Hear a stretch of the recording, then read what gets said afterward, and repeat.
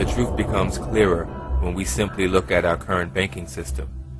According to a report entitled The Federal Reserve Directors, a study of corporate banking influence conducted by the Committee on Banking, Currency and Housing, House of Representatives in August 1976, it was concluded that all major financial banking cartels of the United States are all subsidiaries of the London Bank of England. In other words, the Lehman Rothschild Bank owns every major bank in the United States. This list includes Lehman Brothers and Morgan Stanley, recently dissolved from the created economic crisis, National City Bank, Chase Manhattan, and many others. Every time a taxpayer pays a tax, they are transferring their labor to the Queen of England and her heirs. Who are her heirs, you may be asking? All of your presidents and high office officials who are related to the aristocracy by blood. These officials are more commonly known as esquires. An esquire is defined as a man belonging to the higher order of English gentry, ranking immediately below a knight. To represent the crown, esquires or attorneys were used to handle the legal process of infiltrating the Americas. These esquires maintained positions of power, thus continuing control through British Admiralty law. Most of us have heard of Benjamin Franklin and John Adams and their early contributions to the United States, but what you may not have heard is that Benjamin Franklin, John Adams, and John Jay were all esquires to the crown. They negotiated the Paris Peace Treaty of 1783 on behalf of the United States. It becomes clearer now why the treaty seems to align in favor of the British, even though they supposedly lost the war. The Paris Peace Treaty did not give America title to land. The king's possessions in America were protected and governed by corporate charters. Benjamin Franklin visited England and France many times during the Revolutionary War. Again, the British just moved from overt control of the 13 colonies to covert control.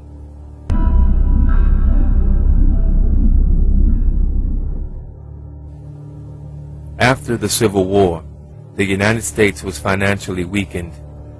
Low on resources and still struggling to put the country back together, America needed money. The international bankers were right there to lend us all that we needed. In 1871, Congress cut a deal with the Rothschild bankers to incur a debt, which would allow the establishment of a new government controlled by foreign money interest.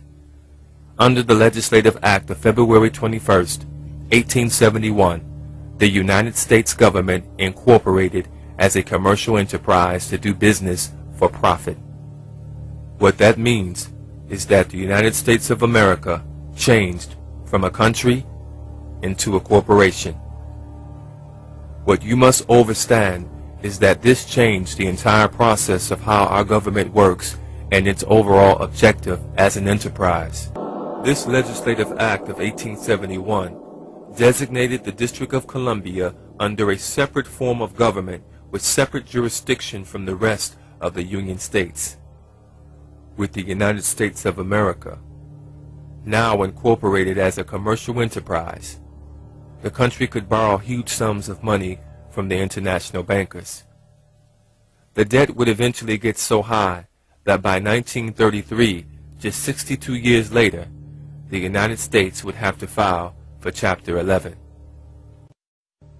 Because of the Legislative Act of February 21, 1871, Washington, D.C. is not a state, but a jurisdiction called the District of Columbia. The evidence for this fact can be found in the 41st Congress, Session 3, Chapter 62, 1871, when they state, An act to provide a government for the District of Columbia, be it enacted by the Senate and House of Representatives of the United States and Congress assembled, that all that part of the territory of the United States included within the limits of the District of Columbia be, and the same is hereby created into a government by the name of the District of Columbia, by which name is hereby constituted a body corporate for municipal purposes and may be contract and be contracted with sue, and be sued. In short, the 50 states are separate from the jurisdictional lands of the District of Columbia. This district is a corporation called the United States of America. Contrary to what you were taught in school, the United States is not a country. It is a corporation like IBM, General Motors, or Microsoft. This corporation has legal jurisdiction to do business and create franchises. Consider the other 50 states as franchises for the parent company of the United States of America. This is why we have a president and not a king or queen. Only kings or queens can rule countries.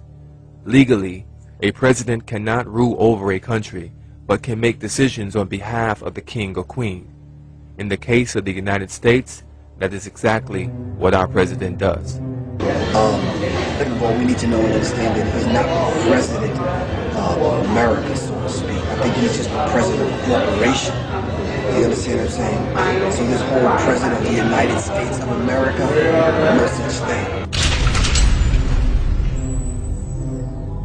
He's the president of a corporation. And in any corporation, AT&T, IBM, McDonald's, whatever.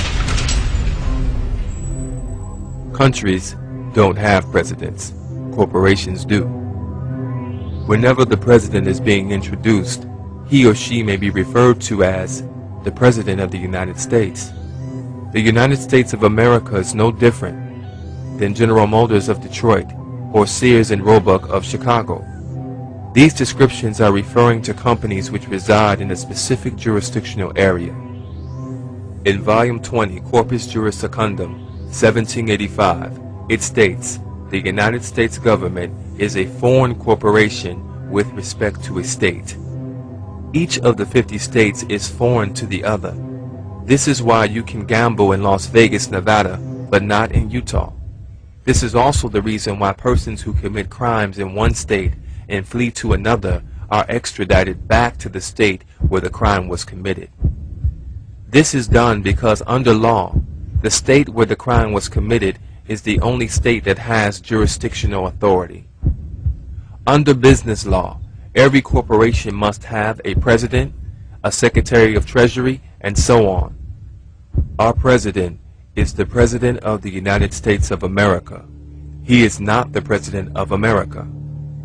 This concept can be somewhat confusing, especially since America and the United States is constantly being sold to the public as existing in the same jurisdictional area on the map. The only connection the 50 states have to the United States Corporation is again either by contract and or franchise agreement.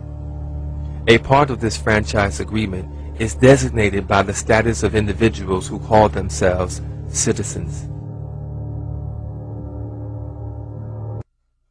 This contract between the United States of America and the 50 separate states is called an adhesion citizens contract.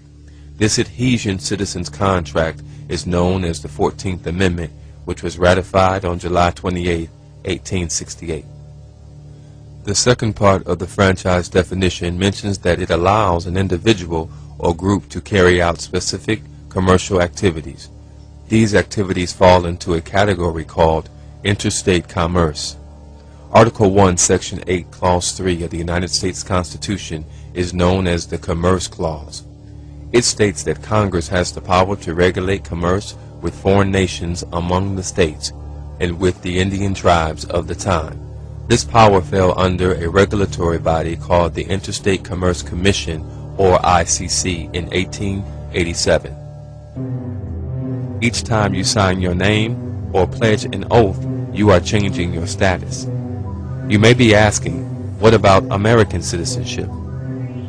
In law, when you see the words American citizen, this denotes that you are a United States citizen contracted into with the birth certificate, social security number, or through your state franchise agreement, which is the adhesion contract of the 14th Amendment. It is critical that you understand that you are not and cannot be an American. An American is a free person who has not made a contractual agreement with the United States Corporation. Remember, you are not an American. You are legally a citizen living in a foreign state. This authorization granted by the corporation called the United States of America can be tied into three main areas of contract, three of which we have mentioned. We looked at the 14th Amendment and we realized that this amendment was really a contract. It was an adhesion contract between the United States government and the citizenry of this country. What that meant for African Americans was this. It meant that the old days of slave ownership, where a white male owns a slave on a plantation, was done away with. And what the owners who owned those slaves did was transfer their property, which were the slaves, from the slave owner to the United States government under the 14th Amendment.